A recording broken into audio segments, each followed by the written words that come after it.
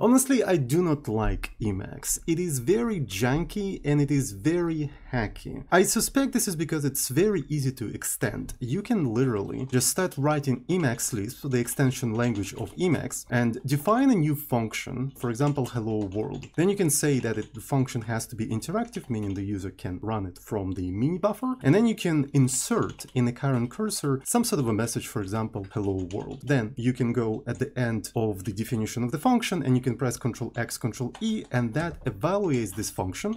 And now this is a command that you can call in Emacs, and it just inserts hello world. Furthermore, you can actually set a key binding to this particular command. Let's say that the key binding is going to be Ctrl X WW, and when the user presses that combination of characters, just execute hello world. And now, if I press Ctrl X WW, it just executes that. It is insanely easy to extend, and a lot of extensions are just basically pieces of codes like that that you execute inside of Emacs and you can actually call to them now.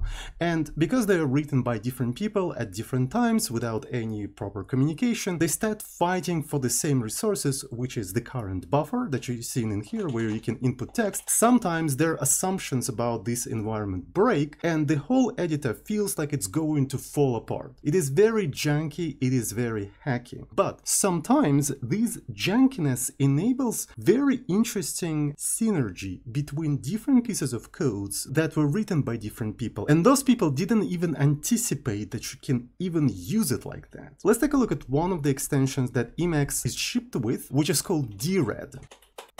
Upon seeing this extension, anybody who uses Linux or any POSIX-like operating system would not even register that this is some sort of an extension. They would say, oh, th this is the output of a ls command. Th that's what I'm looking at. This is an output of a ls command. What's so special about this? Well, in reality, what you're looking at is a literal file manager. You can navigate, you can press in certain folders. Furthermore, you can go ahead and rename certain files. You, you can edit this output of a ls command.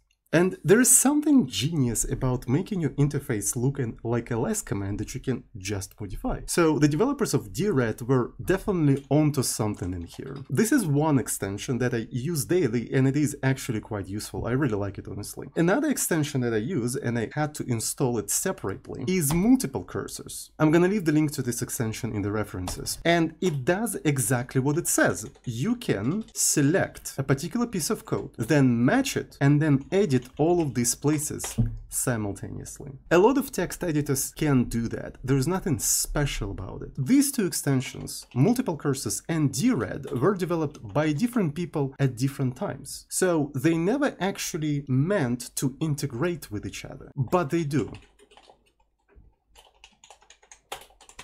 I can mass rename file names with multiple cursors like that. Again, neither the developers of Dired nor the developers of multiple cursors anticipated that you can mass rename files like this. It just worked naturally. Which makes you think, why did it work in the first place? How it is possible for these two pieces of code to synergize like that? That means fundamentally, at the core level, despite all of its hackiness, despite all of its jankiness, Emacs is doing something right. But what is that? And I was thinking about it for quite some time, and I think I finally nailed it. That right thing is the buffer the pieces of codes are fighting for. This buffer is the ultimate communication protocol between different applications. So here's the thing, Emacs doesn't have any way to create UI. It, just doesn't. What it has, it's just buffers into which you can put text. And that's it, nothing else. So if you want to create an Emacs application that has UI, what you have to do, you have to render your UI into a text buffer. So the same text buffer into which you're typing your code, into which you're typing your text. Instead of typing the text by the user, your application has to render its UI into that buffer. And that's what we're seeing in here. And that's why UI of Dired looks like output of ls, because that's the most natural UI you can have in. Emacs. But since it's a text buffer, which is not different from the text buffer where user inputs their text, any other pieces of code can read that text. So you're rendering your UI in a text buffer, so that means other applications can parse and understand your UI naturally. I can even prove to you that this is just a text buffer. You can save it. You can call command write buffer and we can say something like dired ui.txt. So I save this as a text file. So now I have dired-ui.txt, I open it and it looks like the UI of Dired because it uses text for its UI. I can open it in Vim. There you go. It is opened in Vim. This, this is Vim.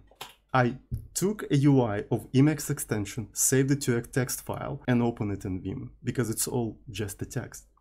And as already said, the most annoying part of Emacs is that it's very hacky and very janky, but maybe that's what makes it so powerful. The whole editor is just the ultimate hack. And I absolutely hate that, because if you have something good enough, but actually useful, you can never find motivation to finally get rid of that. And my recommendation for people who's looking to learn a cool customizable text editor, never try Emacs, because you won't be able to get rid of this goddamn text editor from your life, no matter how hard you try. It's too goddamn fucking useful.